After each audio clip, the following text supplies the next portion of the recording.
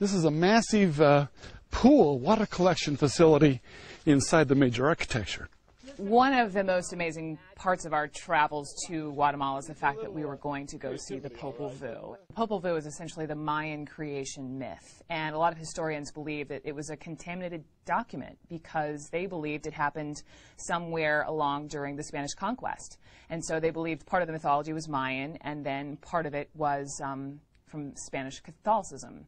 And the significance, and in going under this tent and seeing it face to face, uh, was the fact that this artifact predates anything they thought by a millennium. And to be realizing as we're walking in this tent that I'm not in a museum, I'm not in the British Museum or in the Mexico City Anthropology Museum, I am where this structure was created and built. And not only am I looking at it, but the fact that Dr. Hansen is explaining to us that this Popol Vuh, this frieze, is only 24 meters of it is uncovered it continues to expand around this ancient reservoir system for hundreds of meters. And he put it so well, he said, it's kind of like today if we were to find the Mona Lisa in the sewage system.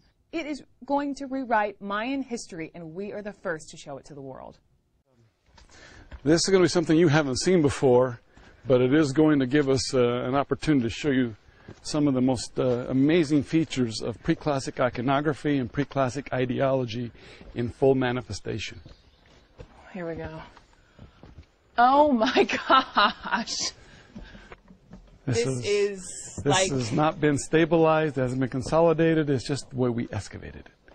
Wow. We're in the process now working with this, but you're looking at a rich cosmological scene. When did you discover this? Just uh, a few months ago. So You're the first uh, professional company to ever look at this art. This is the creation story. This is the creation the story, people. and it goes back to at least 300 to 200 BC. What was it like? Just that moment of discovery when you realized what this is. Immediately, I saw the head. I realized with the number one and the, and the scroll out of the, I thought, I thought, can this be the Popol Vuh? I was stunned. They had a series of pools with two waterfalls, dual waterfalls that fell into an, another pool. And then the side of their pools were richly decorated with extraordinary art on two levels.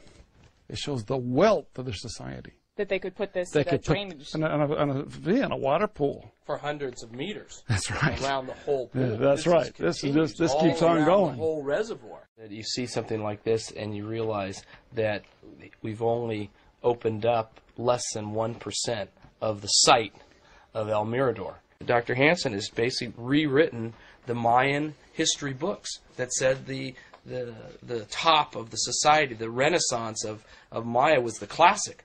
And actually it was a thousand years before the pre-classic. We're not primitive villagers. These were the real uh, founders of the Maya Empire.